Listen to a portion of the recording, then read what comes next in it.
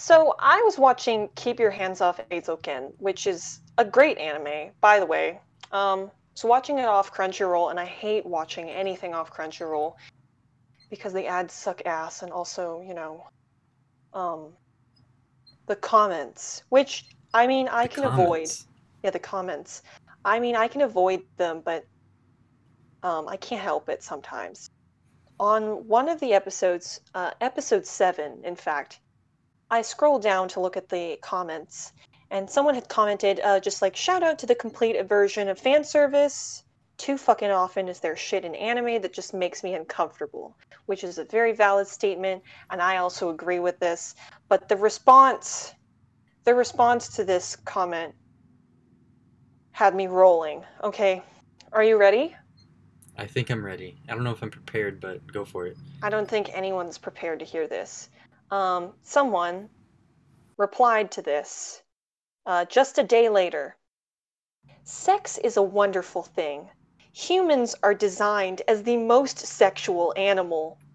Sex and skinship is good for your health. I forgot skinship. You forgot skinship. Sex and skinship is good for your health.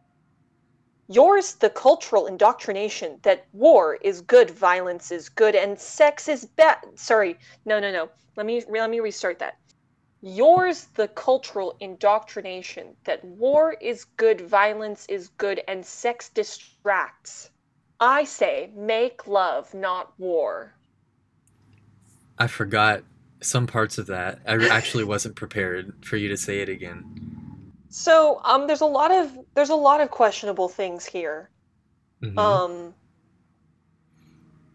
uh, such as the the implication here that the that we are culturally indoctrinated that war is good, and I don't Well- think that. I mean, Not wrong. it's not quite wrong, but I feel like it's not quite right. I think I think he's wrong to say that humans are indoctrinated by their cultures to think that sex distracts from war. The, yes, I yes, don't- I don't- yes. I don't think sex distracts from war. God created sex to distract from war. That's what he's saying. that is what he's saying. Okay, but actually, um, I would like to focus on the second statement in this in this uh, comment. Humans are designed as the most sexual animal, and when I think about this, I um, I think I think maybe it's not true.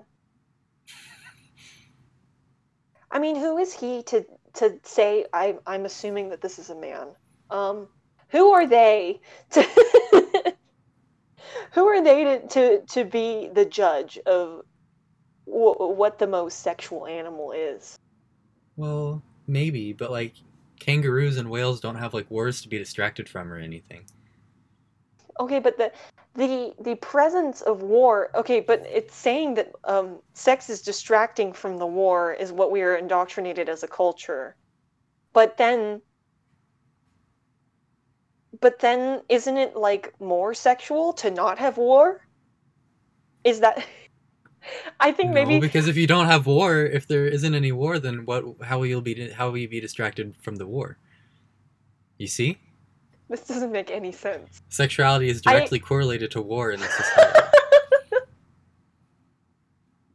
Well, then I guess in that case, humans are the most sexual animal. But it, it doesn't, it seems rather reductive. I, it, it does. I think we shouldn't base it on the presence of war. Okay, and let's so just evaluate what the most sexual animal is. What is the is, most okay, sexual animal? What does the most sexual animal mean? First of all, I was gonna. I was gonna ask that. Like, what? What are our like criteria? Um, um, okay, I think we can we can just start intensity, roaming. Okay, but like frequency. Okay. Um we could go with we could um, deviancy. sexual organ size and prevalence. Oh, Um well, okay. Why not? I just feel like it's more I about mean- what you. I feel like it's more about what you do with your prevalence, Yeah, regardless but, of like, how prevalent it is. Yeah, but if we're talking about the most sexual animal, like if most of its body is dedicated towards the sex, then like Yeah, but like, are we talking like sheer size or like nerve endings or? I think maybe we these this is something that we can consider, but Okay, none of these factors alone are going to determine the most sexual animal. I think it has to be something in our hearts, You're right. like something that we just feel that we just know it's the most Mhm. sexual animal. Yeah. Somehow I I feel like I know in my heart that humans are not the most sexual animal. But also maybe I'm biased. I've just never thought about it until now, honestly. I don't well, I'm not sure if um most people have thought about this. Probably for good reason. Well, Well, what do you say? Should we just like research? I think we should just do some research. Um, Okay. I know that some marsupials have um, more than one sexual organ. Oh, Mm-hmm. Okay. Can't remember if it's two or three. Hold on. Maybe I should incognito window. Marsupials sexual organs multiple.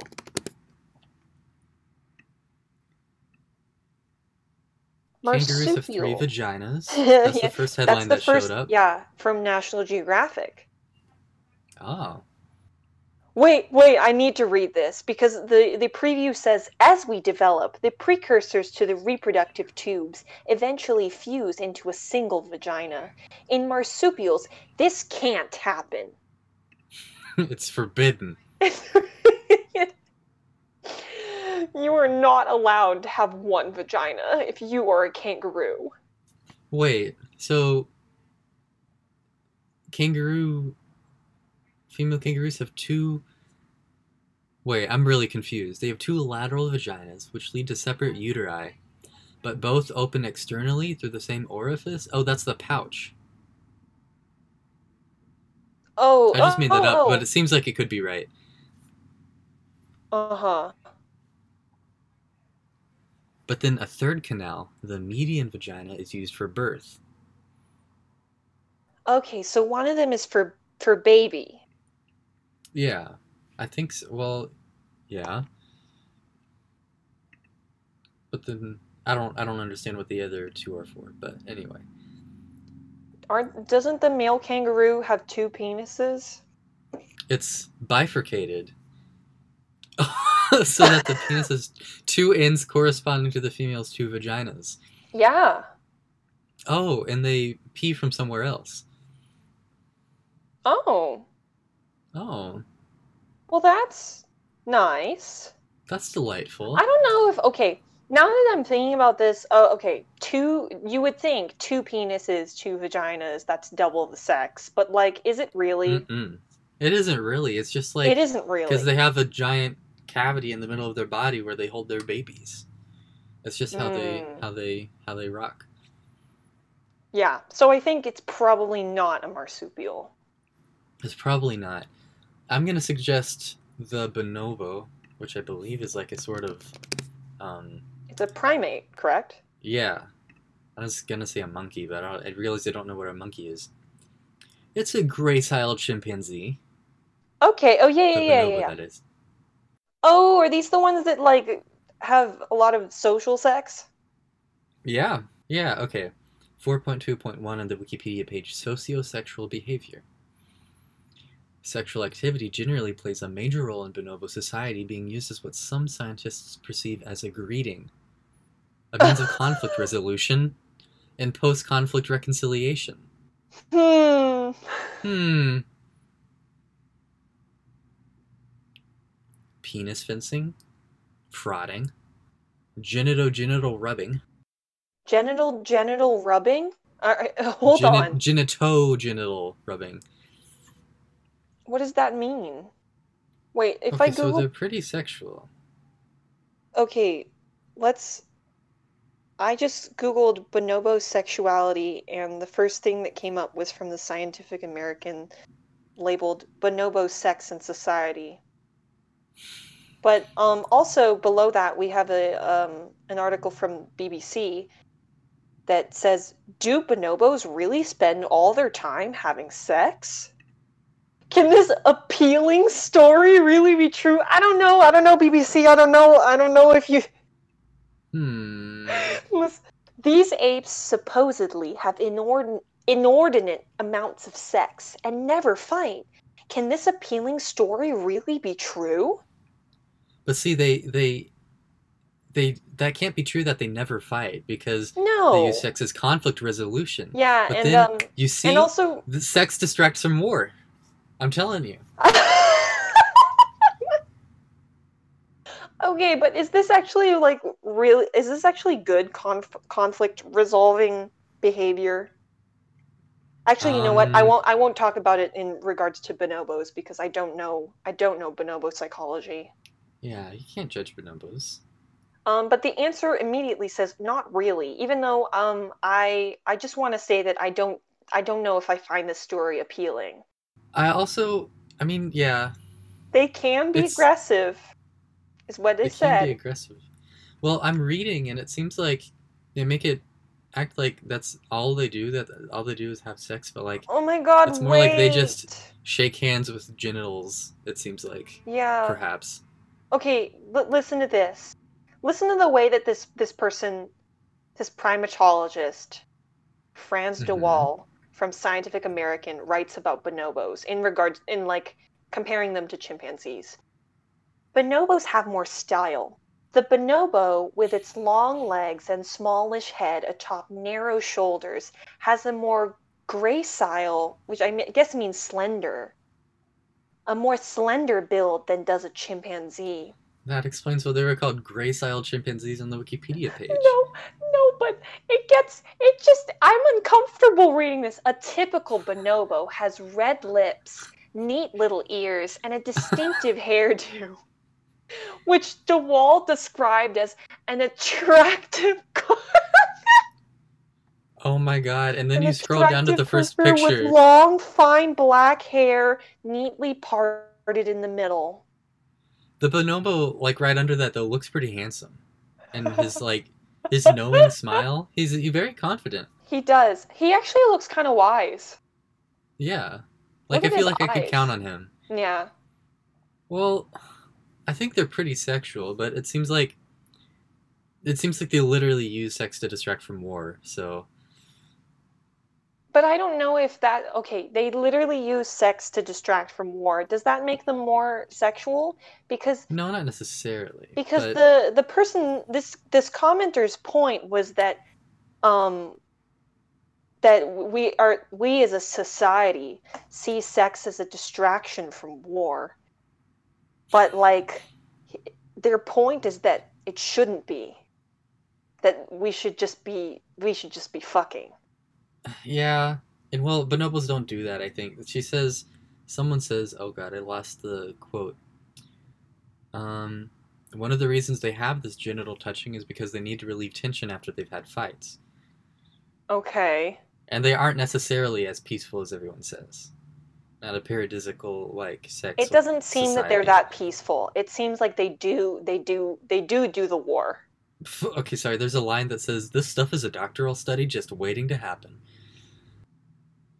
Yeah, um, I'm just gonna disqualify Okay. them. I don't know if we can we can like count this because it seems like what they're the the this like genital rubbing and touching is It's what like they're part of society. it's like a, a strange bonobo society behavior is what it It's seems not like, like. a separate a separate aspect of life. So Uh-huh. And then it, it, it says here that in terms of reproduction, they are not more sexually active than chimpanzees. I don't know. Let's let's let's put a pin in them. okay, Oh God, there's a picture of a, a of a bonobo um, masturbating, and I, I'm not I'm not I'm not here for this. it is a little intrusive It's for the poor bonobos. Uh, Oh God, it's a this bonobo is doing what you think it's doing. the bonobo exactly. Are we qual are we qualifying sex for um recreational or only for reproduction or I think in the way we meant it when we first talked about it, we meant like just for the hell of it. but I don't think I think most animals don't do it just for the hell of it. That's true.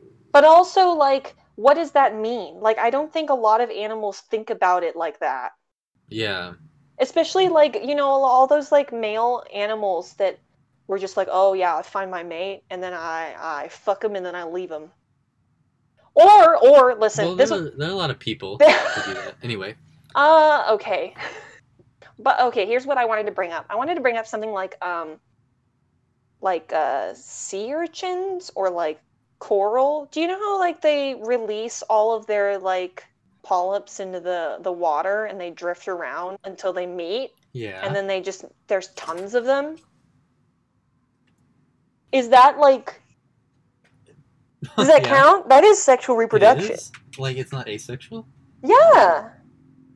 It's not asexual because there's two there's two um there's two gametes. Okay. Um. Asexual reproduction requires only one um, organism to produce a fully fledged new organism. You know, you're right. This is actually harder to think about than I thought. Because like, Because then are like thinking about it. maybe plants are maybe plants are the mo- wait wait wait wait Plants Never are mind. animals. this is the most this is the most sexual animal. Never mind. We don't need to think about any other sexual organ organisms. Sex- sexually reproducing organisms. I re- you reminded me. I ha- have this book that I got for my birthday a while back. It's called What a Fish Knows, and it's like just all about fish life. There's a whole chapter on sex, Uh huh. fish sex. And well, I'm just oh. I'm just oh. gonna say the um Oh, that it. the like titles, the head headlines on the page are really funny. Seducing with artistry, Oh. Oh, you mean like a manipulation with a feminist twist. what? Oh God, there's one that's called Well Hung Fish. Oh, oh, oh. Okay. If we're going, okay, let's go back to the genitalia for a Okay. second. Are blue whales very sexual? No, because proportional to them. I feel like. Okay. Wait, I actually don't know what blue whale genitalia No, let's let's like. find out. How long is a how long is a blue Well, I whale's mean- penis? I think what. Whoa, it, whoa, that's scary looking. Um. Ah! and okay, here's the thing. It's not just it's not just big. It uh it can it, they can move it like a snake. Ah! Um, a blue whale's penis is estimated to range from 7 to 10 feet long. Although average is Oh. hard to gauge. Shockingly, I think this is I think this is um a little tongue in cheek. Shockingly, very few people have been around to measure an erect blue whale penis during intercourse. Well, yeah. Does having the long largest penis in the animal kingdom But the whales are just huge too. And I think when we're thinking about like the size of the genitalia, it's more about like in relation to the to the in relation of to the, the animals hmm in relation to the animal's like life. Like what is its purpose? Yeah. What does it do all day? And I don't think that they actually end up um, boning down all that often. I mean, Yeah. they just sort of. Please don't ever say it like that again. Um, why not? I don't like it. Okay. I think maybe what we need to um, also consider is like how much of their life is devoted to sex. Yeah, that's what I was You thinking. know, okay, so like, what is that moth? Luna moth? There's a moth that like Luna moth, yeah. there are quite a few insects that like after they get out of their larval stage which i don't think i really want to count because that's baby okay babies Yeah, babies baby. shouldn't babies shouldn't do that but in their adult stage they literally just live to they just live they just live to reproduce so um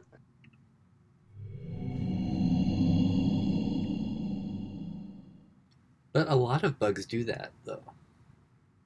so You know? so like okay but which bug which bug has the shortest adult life? It's like a fruit fly, probably. Really? Living like a day. But do fruit flies literally really live one day? Oh, the mayfly, which lives for less than five minutes after its final molt. Oh, And is that literally all they're doing? exists like five minutes? Okay, Okay, Wikipedia. it. because a lot of these bugs, you know, like they're they don't have any other parts. Like the Oh, Luna oh, moth, oh, oh, the Luna moth Adult doesn't have a mouth. Oh, Adult females of the species live for less than five minutes. and then the males? Ah. They may patrol individually, the males. They congregate in swarms and perform a nuptial dance. Well, it seems like if you look at like the five minutes that each female is alive, and probably the like two or three days the man is alive. The man? Do Agreed. not call him a man. That is not a man. The bro, the dude. The dudette only lives for five minutes. I hate these are not. These are bad. Okay.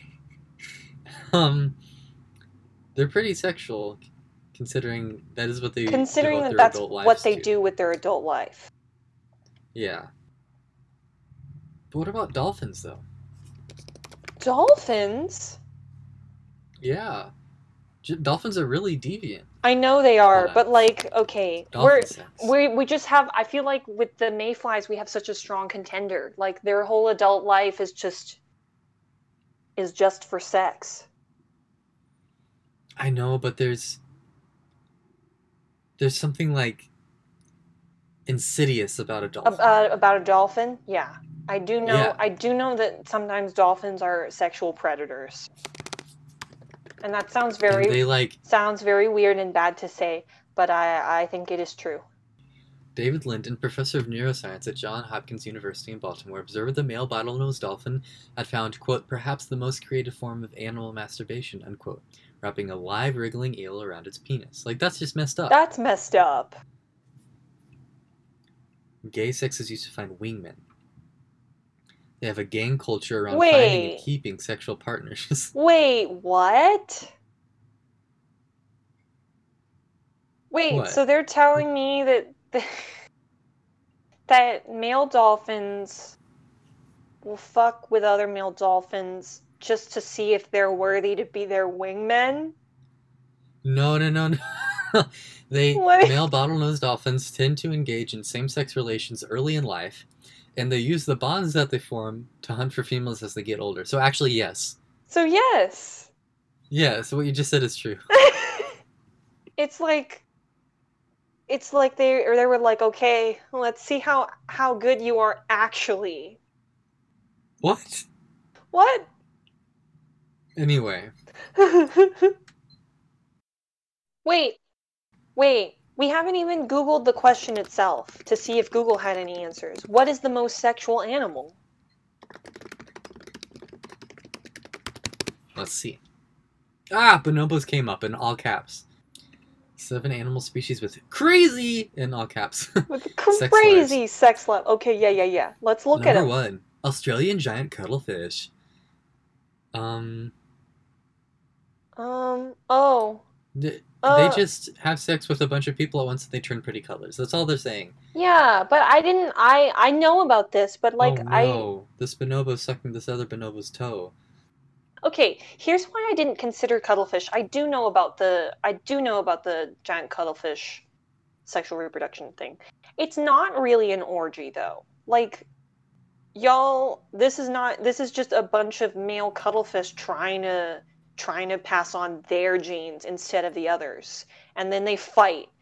And then there's some the small males are like, "Well, I can't fight, so I'm going to pretend to be a lady." I hate I hate saying that. I hate saying lady for for animals because like they I don't think they have this con they try anyway, they like they switch to like muted colors and they try to look like a female cuttlefish and then they slip in and then they mate with the female cuttlefish. This is not an orgy. This is uh, this is a fight. This is a brawl. I hear what you're saying and I accept it. I don't think this is. I don't think this is that sexual. I'm going to rule this one out. Okay, I just I, I need the topic to change because if you look at number six, banana slugs, it says drama, jealousy, Okay. penis chew. Banana slug sex has all the intrigue of a soap opera. what soap operas are you watching? I don't know. Okay, okay. Something about something about um something about slugs to note is that they um what is what is that what is the scientific term for that? They can change their sex. A lot of snails they just like when they see another snail, they're like, "Oh, are you are you Wait, no, wait. uh, Wait, do they both Is this the ones that they like both Wait, I'm getting the animals mixed up. There's a there's an animal. It's No, these are just slugs. Okay, I think there's some type of snail that has they have like a, a barbed they have like a, a like a missile, a harpoon penis. All all of, Harpoonus. and then all of them have them Harpoonus. and then and then when they see each other they both harpoon each other with the penis. the wiki wiki on Wikipedia it's called a love dart. Oh, yeah, that's right. That's right. That's right. Anyway, what is it? It- Is it slugs. wait, are think are those snails? Are those snails?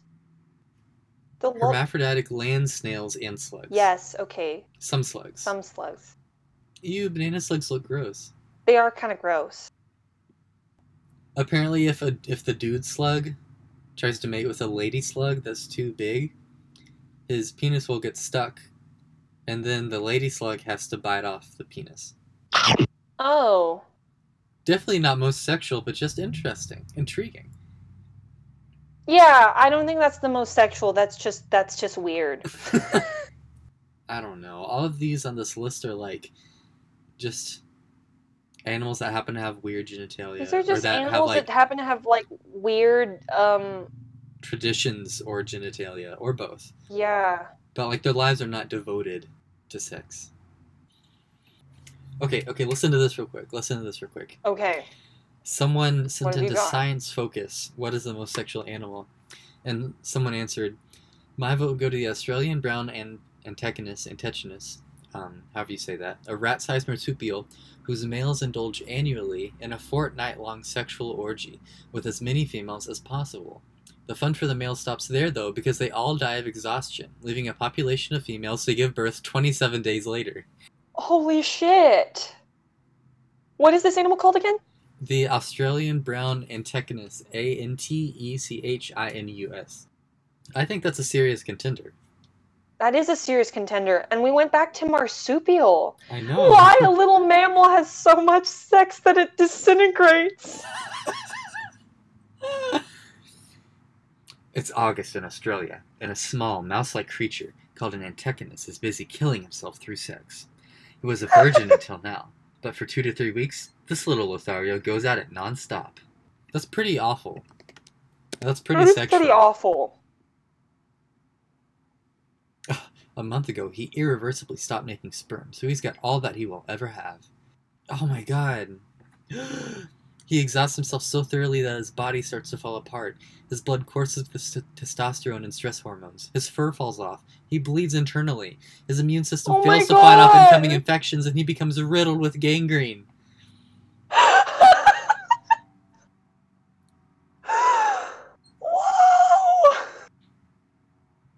They're the only I think mammals you're right. that do I that. think we have I think we have a real contender here. They're the only mammals that do that. That that fuck until they die? Yeah, literally.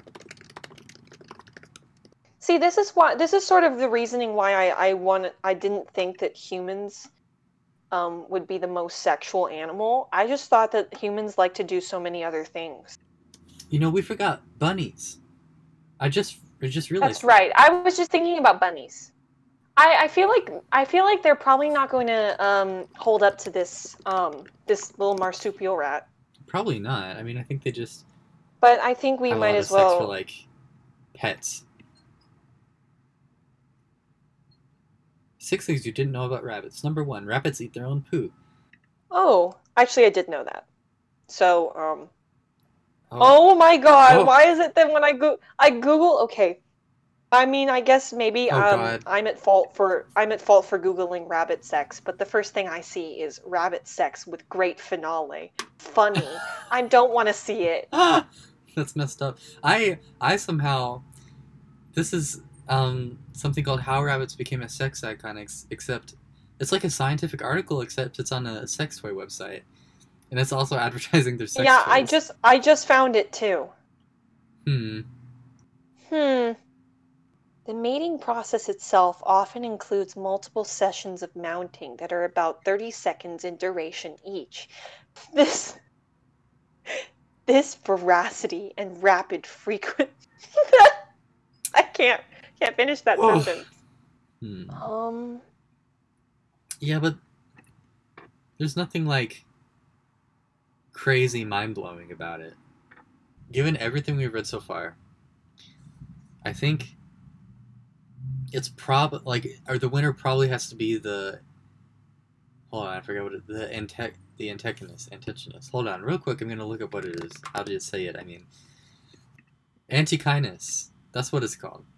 I think Antechinus. anti-kindness? I think they might be the winners with the Okay. Luna moth, or well, the Mayfly, I guess. The mayfly I think has got a, a better a better um alibi. That's not the Yeah, word. 'cause, like, better, a better case going for They it. live the rest of their lives still, and they they're only meant to live that long, so that they can mate and lay eggs really quick. Meanwhile, for some ungodly reason, the Antechinus is like, like completely destroys itself. It's like I will fuck so much in a few days it literally falls die. apart. Literally falls apart. I think okay. I need I need to I need to read more about the the rabbit reproduction. Okay. I think I'm not getting clear enough data. Okay. Yes. Well, this is a very um a much more technical thing about rabbit. What? Okay. Do you want me to read this? It is very scientific, but it's still disturbing. Okay, go on. Both male and this is about breeding rabbits. Both male and female rabbits can be quite territorial, and mating is best accomplished if the doe, which is they're called doe and buck, just like deer, Oh, okay. Is best accomplished if the doe is placed in the buck's enclosure or if the pair are introduced in neutral territory. Upon introduction, the buck follows the doe around, softly humming while sniffing and licking her for approximately 30 seconds. Um, He, he may also spray the female with urine. The receptive female will hop around in circles or flatten to the floor. it's like a dance recital. Lordosis, lordosis is observed when pressure is applied to her back. What's While the non-receptive, I don't know what this means. While the non-receptive doe will run away from the buck, and if cornered, she may vocalize or even bite. At least she knows how to say no. That's true, yeah. Are you ready? It's gonna get worse. Are you are you sure you're ready to hear this? Active mating begins when the buck grasps the female by the nape with his with his teeth. He then mounts the female rabbit, thrusting vigorously. thrusting vigorously until ejaculation occurs relatively quickly. Afterwards, the male emits a sharp cry or squeak before falling onto his back or side, while the doe either runs away or begins to bite and kick the male. That's. Why did they have to add the part where he goes ah and falls down? Really? I don't know. Um, What? Did you read another weird thing? no. I feel like I feel like how do how are, how do you pronounce it again? Antechinus? Antechinus. I feel like this Antechinus is is still sort of winning in my eyes. No, in my eyes too. I mean, the rabbit stuff is entertaining, but But this is just this is just a little insane. hor- yeah, horrifying. like like does he need to do that? Like would he not die if he if he didn't? no, I don't think so. My name is the brown Antechinus. Wait, where- Antechinus look dull, but everything else about them is extreme.